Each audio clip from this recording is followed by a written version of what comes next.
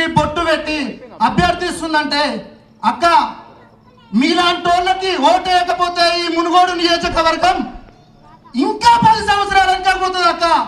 ఖచ్చితంగా మునుగోడు నియోజకవర్గంలో ప్రతి ఒక్క కార్యకర్త అక్క కోసం పనిచేసి ఓటేసి అత్యధిక మెజారిటీతో గెలిపించాలని కోరుకుంటూ నాకు ఈ అవకాశం ఇచ్చిన పెద్దలకి ధన్యవాదాలు తెలియజేస్తూ జై కాంగ్రెస్.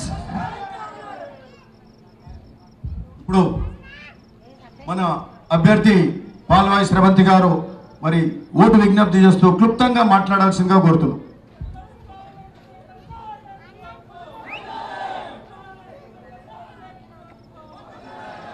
ఈ వేదిక మీద ఉన్న పెద్దలు మా టీపీసీసీ అధ్యక్షులు సోదరులు రేవంత్ రెడ్డి గారు అదేవిధంగా పెద్దలు నల్గొండ ఎంపీ ఉత్తమ్ కుమార్ రెడ్డి గారు మా టీసీసీ అధ్యక్షులు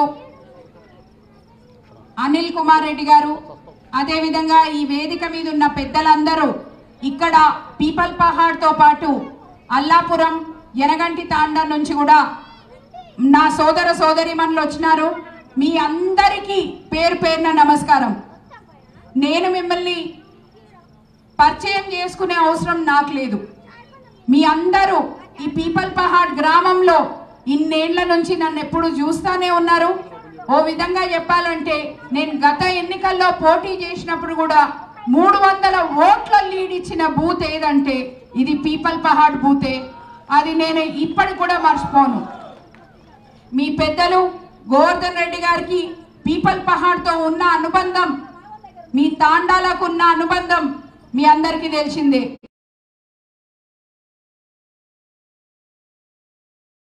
విధంగా ఈరోజు తాండాల్లో రెండు తాండాల్లో నీళ్ళు తాగుతున్నారంటే ఆ బోర్లు కూడా మీ పెద్ద మనిషి గోవర్ధన్ రెడ్డి సాబ్ వేయించినాయే కదా. మీ అందరికీ ఇక్కడ ఈ గ్రామంలో ఎప్పుడు ఏది కావాలన్నా కానీ వెంటనే స్పందించి పనిచేసిన మీ నాయకుడు గోవర్ధన్ రెడ్డి గారి కూతురుగా అదేవిధంగా మీ ఈ గడ్డ మీద పుట్టి మీ అందరి ఆడబిడ్డనైన నేను మీ అందరి ముందుకు ఈరోజు వచ్చి కాంగ్రెస్ పార్టీ అధినేత్రి సోనియా గాంధీ గారి ఆశీస్సులతో నాకు ఈరోజు మునుగోడు నియోజకవర్గం గడ్డ మీద పోటీ చేసే అవకాశం ఇచ్చింది. నేను మీ అందరి దగ్గరికి వచ్చి కోరుకునేది ఒకటే ఒకటి. గత ఎన్నికల్లో నాకు రావాల్సిన టికెట్ని కొట్లాడి అధిష్టానంని బెదిరించి తీసుకున్న రాజగోపాల్ రెడ్డి గారు ఇక్కడ మనందరం ఓట్లేస్తే గెలిచి కేవలం మిమ్మల్ని కాదు ఆయన కోసం ఈ గ్రామంలో నేను వచ్చి గడప గడప కూడా తిరిగి ప్రచారం చేసిన. అటువంటి నన్ను మిమ్మల్ని అందరినీ మోసం చేసిపోయిన వ్యక్తి ఈరోజు కొత్త జెండా పట్టుకొని మన దగ్గర ఓట్లు అడగనిక వచ్చిండు. ఆయన చేసిన మోసాలు చూసినాం. గత దానికంటే ముందు కూసుకుంట్ల ప్రభాకర్ రెడ్డి గారికి అవకాశం ఇచ్చినప్పుడు ఆయన మన మండలానికి కానీ మన నియోజకవర్గానికి కానీ ఈ గ్రామానికి ఏం అభివృద్ధి చేసిండో కూడా మీరు అందరు చూసిండ్రు. ఈరోజు నేను మీ గ్రామంలో ఏది అవసరం ఉన్నా కానీ ఎన్నిసార్లు ఇక్కడికి వచ్చిన్నో మీ దగ్గర బొడ్రాయి పండుగ అంటే కూడా గడప గడప దొక్కిందాన్ని నేను. మీ ఇంటి ఆడపిల్లగా ఆ రోజు ఆదరించిండ్రు మీ ఆడబిడ్డగా ఆ రోజు నన్ను ఆదరించిండ్రు.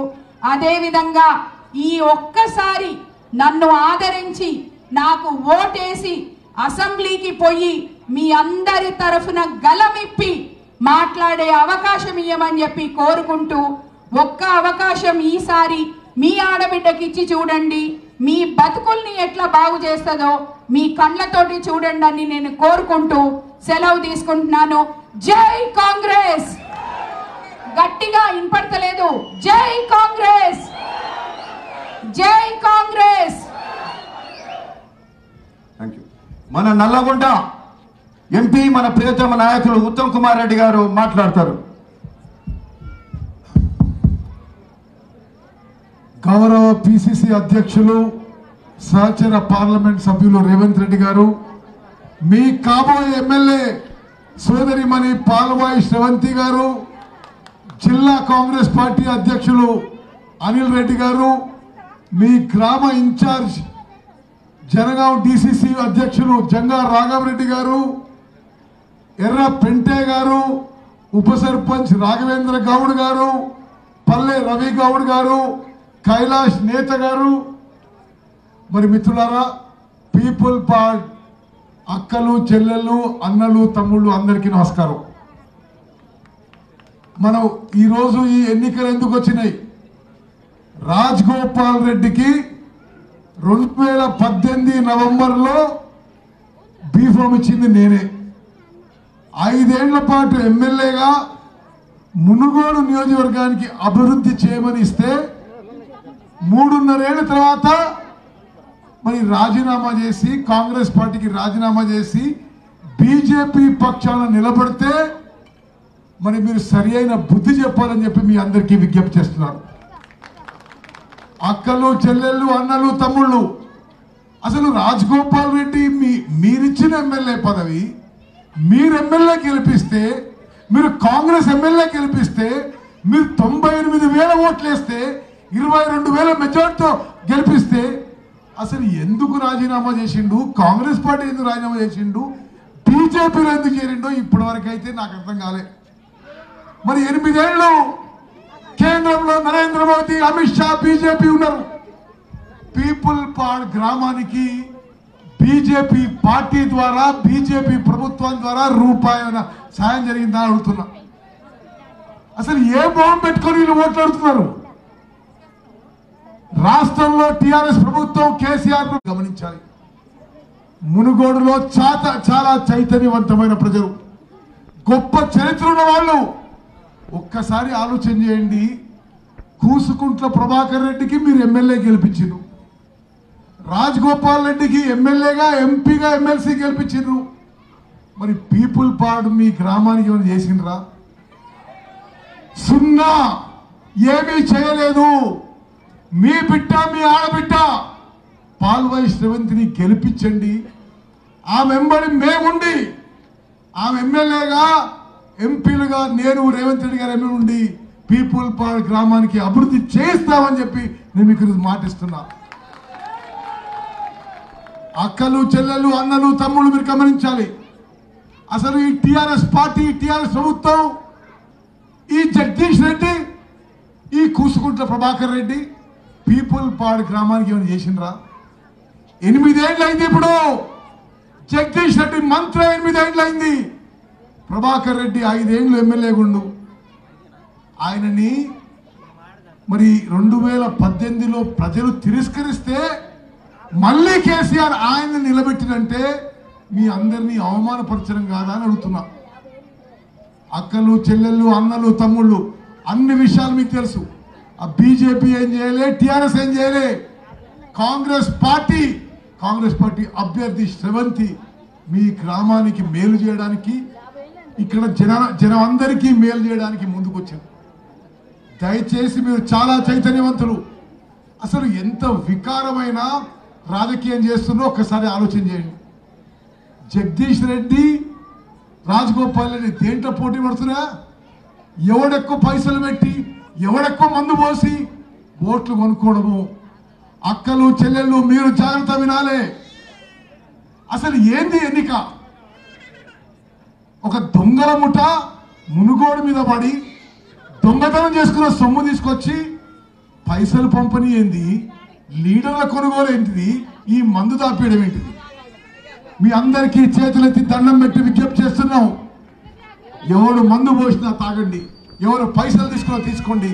కానీ ఓటు మాత్రం కాంగ్రెస్ పార్టీకి శ్రవంతికి చేతి గుర్తుకి ఓటేసి గెలిపించాలని విజ్ఞప్తి మీ ఉత్తమన్నగా ఈ ఉమ్మడి నల్గొండ జిల్లాలో ఐదు సార్లు ఎమ్మెల్యేగా ఉమ్మడి ఆంధ్రప్రదేశ్లో కేబినెట్ మంత్రిగా రాష్ట్ర కాంగ్రెస్ పార్టీ అధ్యక్షునిగా గతంలో ఎంపీగా నేను మీకు మాటిస్తున్నా. మీరు శ్రవంతిని ఎమ్మెల్యే గెలిపియండి. మేము మీ ఎంబడి ఉంటాం. ఏ కార్యకర్తకి ఇబ్బంది ఉన్నా మేము మీ ఎంబడి ఉంటాం అని చెప్పి నేను సభాముఖంగా మనం చేస్తున్నా. నల్గొండలో నా ఇల్లు ఎప్పుడూ మీకు తెలిసే ఉంటుంది. ఎవరికి ఆపద వచ్చినా ఎవరికి ఇబ్బంది వచ్చినా మీ ఉత్తమనం మీ ఎంబడి ఉంటాడు. అక్కలు చెల్లెళ్ళు మీరు ప్రత్యేకంగా గుర్తుపెట్టుకోవాలి. మీ సమభవన సంఘాలకి కేసీఆర్ మోసం చేసిండు. గతంలో మీరు బ్యాంక్ నుంచి తీసుకునే రుణాలకి ఆ వడ్డీ భారం కాంగ్రెస్ ప్రభుత్వమే కట్టేది.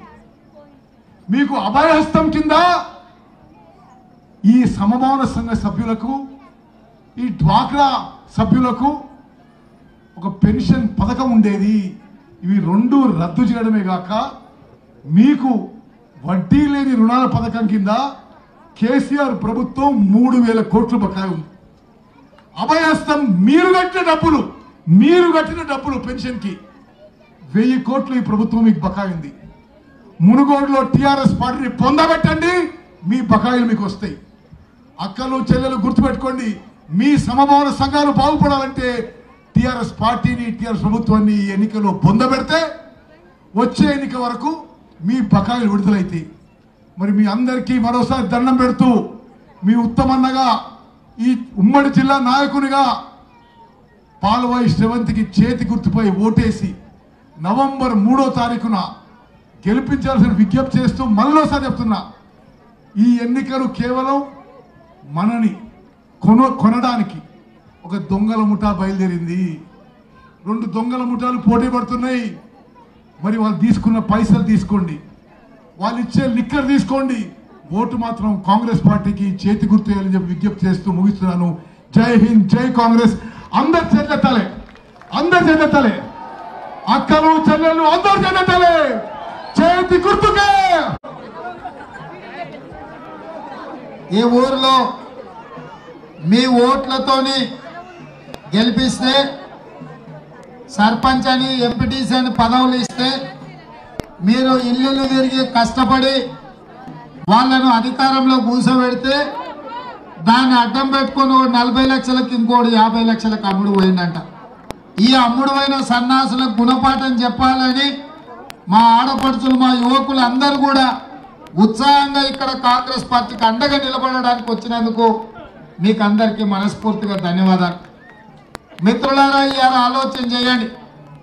మా ఆడపడుచులు కూడా అందరు చదువుకున్న వాళ్ళు ఉన్నారు. ఇవాళ రేపు టీవీలలో వచ్చే వార్తలు చూస్తున్నారు. ఇవాళ టీవీలలో చూస్తే ఢిల్లీ నుంచి సునీల్ బన్సల్ భూపేంద్ర యాదవ్ రకరకాల పెద్ద పెద్ద నాయకులు ఇంత పెద్ద జుబ్బాలు వేసుకొని ఢిల్లీ నుంచి దిగారు.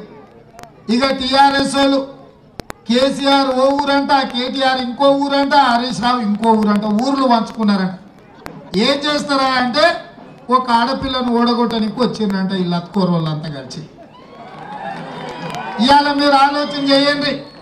ఢిల్లీ నుంచి వస్తాదులు దిగినా గజ్వేల్ నుంచి తాగుబోతులు దిగినా వీళ్ళందరి ఆలోచన ఏంటంటే మునుగోడు నియోజకవర్గంలో ఉన్న ఓటర్లను క్వార్టరు హాఫ్ ఫుల్లో ఇయ్యాలి ఇరవై వేల ముప్పై వేల ఓటుకి ఇయ్యాలి కాంగ్రెస్ పార్టీని ఓడగొట్టాలని ఎజెండాతోనే వచ్చారు. నిన్నటి వరకు రెండు వేల తొమ్మిదిలో ఎంపీని చేసినాం. ఆ తర్వాత ఎమ్మెల్సీని చేసినాం. ఆ తర్వాత ఎమ్మెల్యేని చేసినాం. కాంగ్రెస్ పార్టీ సోనియా గాంధీ గారు పెద్దలు ఉత్తమ్ కుమార్ రెడ్డి గారు. ఇవాళ ఇన్ని చేస్తే ఇవాళ పేరు వచ్చి గుర్తింపు వచ్చి ఆస్తులు వచ్చి అంతస్తులు వచ్చినాక ఇవాళ ఆయన బయలుదేరిండు కాంగ్రెస్ పార్టీని చంపాలి కాంగ్రెస్ పార్టీని పొందబెట్టాలి నేను అడుగుతున్నా ఆయనను నీకేమన్యాయం చేసింది కాంగ్రెస్ పార్టీ? నేను ఎంపీని చేసినందుక ఎమ్మెల్సీని చేసినందుక ఎమ్మెల్యేని చేసినందుక నీకు బజార్లో ఇంత విలువ పెంచితే ఆ విలువను తీసుకెళ్ళి వాళ్ళకి తాకట్టు పెట్టి అమ్ముకున్నందుక ఎందుకు ఇవాళ నువ్వు కాంగ్రెస్ పార్టీని చంపాలి అని అడుగుతున్నావు అని నేను అడుగుతున్నా. ఇవాళ నీ మునుగోడు నిధులు వస్తాయి రాజీనామా చేస్తాను రాజీనామా చేస్తే ఈ ఊరికి ఏమన్నా సీసీ రోడ్లు వచ్చినాయా? వచ్చినాయా? యువకులను అడుగుతున్నా. డబుల్ బెడ్రూమ్ ఇల్లు వచ్చినాయా? లక్ష రూపాయల రైతు రుణమాఫీ జరిగిందా? ఇంటికో ఉద్యోగం వచ్చిందా? మరి మీకేం రాలేదు కానీ మీ ఊర్లో అమ్ముడు పోయిన సన్నాసులకు మాత్రం నలభై లక్షలు యాభై లక్షల రూపాయలు వచ్చినాయి. అంటే ఈయన రాజీనామా చేస్తే నిధులు వస్తాయన్నాడు. ఈ సన్నాసులకు నిధులు వచ్చినాయి. నేను ఇప్పుడు అడుగుతున్నా ఈ పీపుల్ పార్క్ చౌరస్తా నుంచి. ఈ సన్నాసులు కూడా రాజీనామా చేయాలి కదా పార్టీ మారినప్పుడు. ఆయన పెద్ద మునగాళ్ళ పార్టీ మారిన నేను రాజీనామా చేసినట్టు. మరి ఇవాళ ఇక్కడ ప్రజలు ఎంపీటీసీ సర్పంచులు గెలిపించిన సన్నాసులు అమ్ముడు పోయింది కదా. వాళ్ళు పార్టీ మారితే రాజీనామా చేయాల్సిన అవసరం లేదా? యువకులారా మీరు ఆలోచన చేయండి. అందుకే ఇవాళ అందుకే ఇవాళ ఢిల్లీలో వచ్చిన గజ్వేల్ ఫామ్ హౌస్ తాగుపోతాడు వచ్చిన మునుగోడు యువకుల ముందు బలాదూరే. ఇక్కడ యువకులు కంకణ బద్దులై మా ఆడపడుచులకు నేను ఒక మాట చెప్పదలుచుకున్నా. ఇల్లును చూసి ఇల్లాలను చూడమన్నారు ఇల్లాలను చూసి ఇల్లును చూడమన్నారు.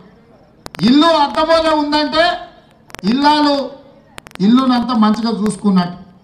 ఇంట్లో ఆడబిడ్డల చేతిలో పెత్తనం ఉంటే పిల్లలకు చదువులైనా లేకపోతే ఇంట్లో అవసరాలైనా మంచిగా తీరుతాయి. ఇంటాయన చేతిలో పెత్తనం ఉంటే సాయంత్రం బెల్ట్ షాపుడు బాగుపడతారు బాగుపడతాడు తప్ప ఇంట్లో ఆడబిడ్డలు బాగుపడరు. మరి ఇవాళ ఆడపడుచుల చేతుల అధికారం ఉంటే మునుగోడు నియోజకవర్గం బాగుపడుతుంది. పన్నెండు సార్లు ఈ మునుగోడు నియోజకవర్గంలో అసెంబ్లీ ఎన్నికలు జరిగినాయి. పన్నెండు సార్లు పెద్ద మనుషులే గెలిచిండ్రు తప్ప ఎప్పుడు ఒక ఆడబిడ్డకు అవకాశం రాలేదు గెలవలేదు. నేను ఇవాళ అడుగుతున్నా ఈ నియోజకవర్గంలో యాభై ఐదు శాతం మహిళా ఓటర్లు ఉన్నారు. లక్ష పన్నెండు వేల మంది ఆడబిడ్డలు ఇవాళ మునుగోడు నియోజకవర్గంలో ఉన్నారు. ఇవాళ మీ లక్ష పన్నెండు వేల మందిలో ఒక ఆడబిడ్డకు సోనియా గాంధీ గారు అవకాశం ఇచ్చింది ఎమ్మెల్యేగా నిలబడడానికి.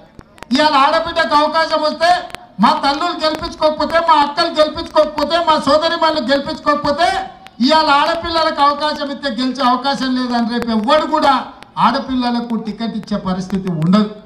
అందుకే రెండు వేల పద్నాలుగు నుంచి పంతొమ్మిది వరకు ఒక్క ఆడబిడ్డ కూడా కేసీఆర్ మంత్రి కానీ అదే కాంగ్రెస్ అధికారంలో ఉన్నప్పుడు గీతారెడ్డికి డికే అర్ణమ్మకు సబితా ఇంద్రారెడ్డికి సునీత లక్ష్మారెడ్డికి కొండా సురేఖకు ఐదు మంది ఆడబిడ్డలకు మంత్రి పదవులు ఇచ్చిండ్రు.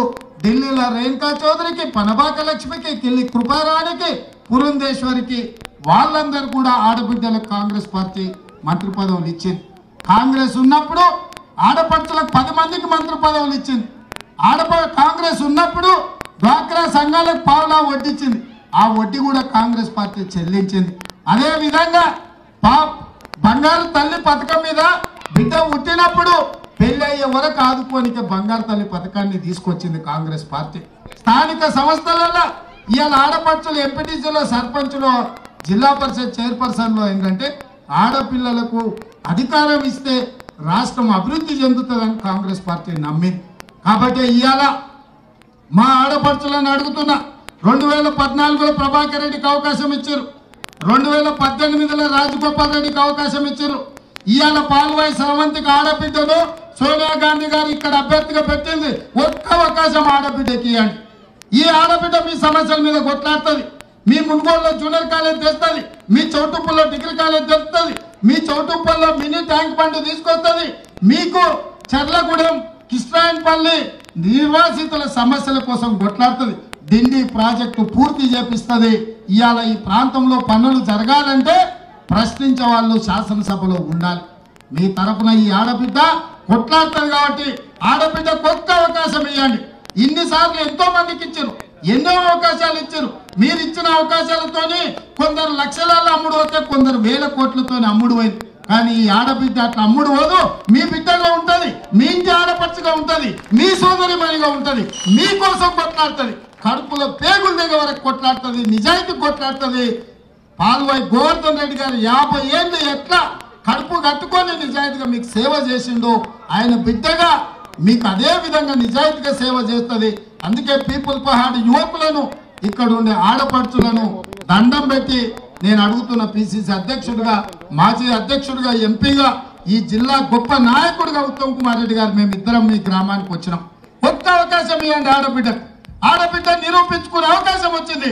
ఇవాళ ఆడపిల్లలకు అవకాశాలు తగ్గిపోతున్నాయి. మా ఆడపడుచులకు విజ్ఞప్తి చేస్తున్నా మీ ఆడబిడ్డ మీరు గెలిపించుకోకపోతే మీ ఆడబిడ్డ మీరు బతికించుకోకపోతే ఇవాళ ఆడపిల్లలకు రాజకీయాలలో అవకాశాలే లేకుండా పోతాయి కాబట్టి ఇవాళ మీరు ఆలోచన చేసి నిర్ణయం తీసుకోండి. ఎవరిచ్చినా తీసుకోండి. ఏం తెచ్చినా గుంజుకోండి. క్వార్టర్ ఇస్తే హాఫ్ అడగండి హాఫ్ ఇస్తే ఫుల్ అడగండి ఒకటి ఇస్తే రెండు అడగండి నూరు ఇస్తే వెయ్యి అడగండి వెయ్యి ఇస్తే యాభై వేలు అడగండి. ఆ నా కొడుకులు మందిని ఉంచిన సొమ్మే మనల్ని కొల్లగొట్టిన సొమ్మే. ఎవడు వాడు జాగీర్ ఇస్తలేడు. మనల్ని ముంచిన సొమ్మే మందిని ముంచిన సొమ్మే. ఏమిచ్చినా తీసుకోండి. ఓటు మాత్రం కాంగ్రెస్ పార్టీకి వెయ్యండి. ఆడబిడ్డని గెలిపించండి అని చెప్పి పీపుల్ పహాడ్ యువకులందరికీ మహిళలందరికీ విజ్ఞప్తి చేస్తూ సెలవు తీసుకుంటున్న మీ అందరి దగ్గర. మీరంతా సిద్ధమేనా? సిద్ధమేనా? వెనకాల మా అక్కలు ఏమంటలేరు అక్క మీరందరు సిద్ధమే కదా ఆడబిడ్డని గెలిపేయడానికే? సిద్ధమన్న వాళ్ళందరూ చేయి పైకెత్తండి. జై కాంగ్రెస్! జై జై కాంగ్రెస్! హస్తం గుర్తుకే! హస్తం గుర్తుకే! ధన్యవాదాలు మిత్రులారా. నా లంబాడ అక్కలు చెల్లెలకి ప్రత్యేకంగా ఒక పది సెకండ్లు మీ గురించి మాట్లాడతా. గ్వార్ బాయ్ బాయ్ బియా రామ్ రామ్. మీ రిజర్వేషన్ విషయంలో మిమ్మల్ని మోసం చేసిన కేసీఆర్ టిఆర్ఎస్ పార్టీ బొంద పెట్టండి. మీ రిజర్వేషన్స్ ఎనిమిదేళ్ళు ఆలస్యం చేసిండు ఇప్పుడు కూడా నిజాయితీ లేదు. తప్పనిసరిగా టిఆర్ఎస్ పార్టీని ప్రభుత్వాన్ని బొంద పెడితేనే మీ రిజర్వేషన్స్ ఖచ్చితంగా వస్తాయని మనం చేస్తూ ముగించుకుంటారు. Bye BR Ram Ram.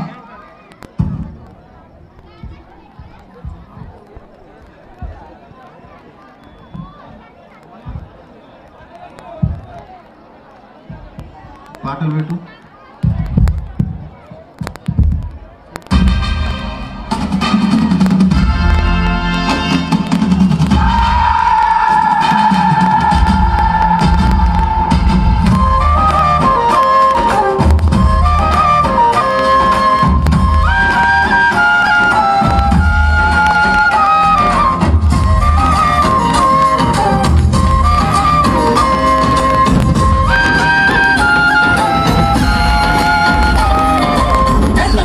పులి పిట్ట నేను మరువబోతు ఈ గడ్డ.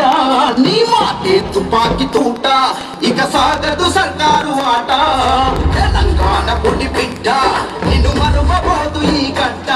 నీ మాటే తుపాకి తూట ఇక సాగదు సర్కారు ఆట. అనుకుంటలే